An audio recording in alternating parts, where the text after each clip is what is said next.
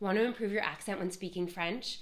You need to think about where you're speaking it and with what muscles you're speaking French. In English, the language is spoken mostly in the back or the middle of your mouth. You have a lot of jaw action as you're speaking. Your mouth opens wide. In French, it's a language spoken with the lips. So you're going to use a lot of the muscles around here when you're speaking. Let's take a look at the vowel sounds. Instead of saying oh in French, you're going to say oh, oh.